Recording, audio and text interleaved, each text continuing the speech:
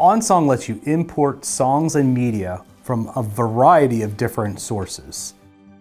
Now, you may be wondering how you can import songs from popular websites that you may use or subscriptions that you have.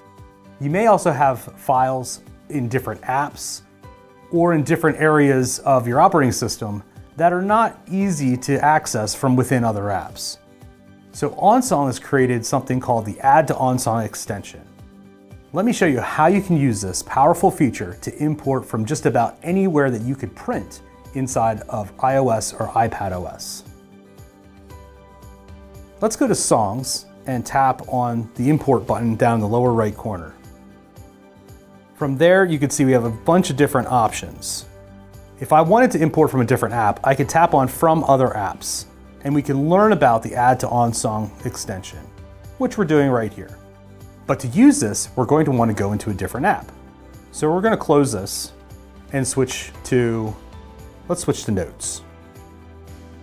As you can see here, I've been working really hard on a song that I've written for one of the most popular employees here at OnSong, Dakota. Now, if I wanted to import this song into OnSong, I can tap on the square with the up arrow to open up the activity view. And here you can see there's an add to OnSong action.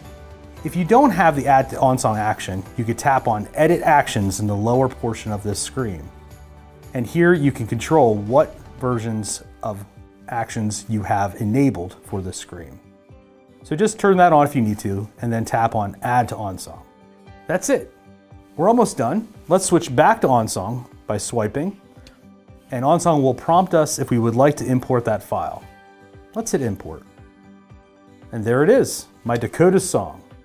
I hope that shows you the power of the Add to OnSong extension. You can import documents, you can import videos, still photos, music files from GarageBand, just about anywhere inside of iOS and iPadOS where you have that square with the up arrow, you can add it to OnSong. And if you're looking for other songs about Dakota, you can even import from the web.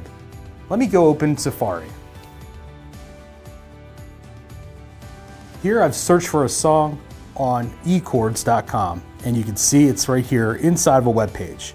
Now instead of printing this chart, I can go up to the square with the up arrow and choose Add to OnSong. Now when I switch back to OnSong, I'll get prompted to import again. I have the song Runaway imported into my chart as well, which is not as good as the original, but it might have to do depending on our copyright permissions. I hope that gives you some ideas of how you can import charts into OnSong using the Add to OnSong extension. And if you have any questions, be sure to contact us.